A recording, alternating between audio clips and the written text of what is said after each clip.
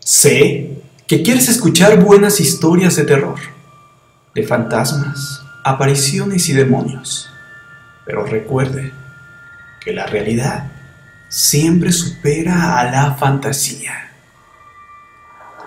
Con apenas 16 años cumplidos, una joven rebelde se creía lo suficientemente madura para tomar sus propias decisiones.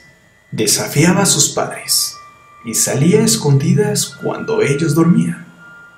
Su novio la esperaba siempre unas calles más adelante, bebiendo en su auto mientras ella llegaba.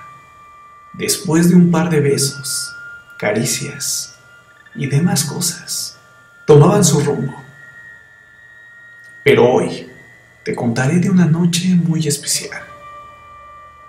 Esa noche había una fiesta muy esperada pues según los rumores, habría mucho alcohol, tanto hasta para llenar una piscina y bañarse con él. Cuando llegaron a la fiesta, ciertamente era lo que habían esperado. Decenas de chicos bebiendo hasta ahogarse y las parejas besándose por rincones y después desaparecían a hacer travesuras. No tuvo que pasar mucho tiempo para que surgiera una discusión. El chico que la acompañaba, que supuestamente era su novio, la había dejado sola para coquetear con las demás chicas del lugar. La joven, aunque era rebelde, seguía siendo una niña y armó un gran escándalo que avergonzó a su pareja.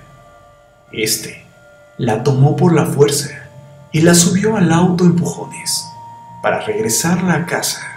La chica gritaba y manoteaba y hacía escándalo y el joven hacía lo mismo.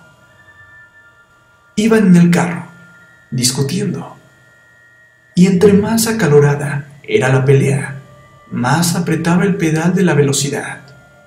De repente, una fuerte luz los encandiló, y lo siguiente fue un tremendo estruendo, producido por el impacto con otro coche. La policía y un equipo de urgencias Llegaron muy rápido, pero era demasiado tarde.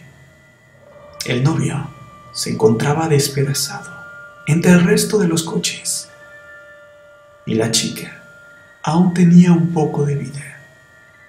A su lado había llegado una muchacha que la conocía, era su vecina, y la tomó de la mano.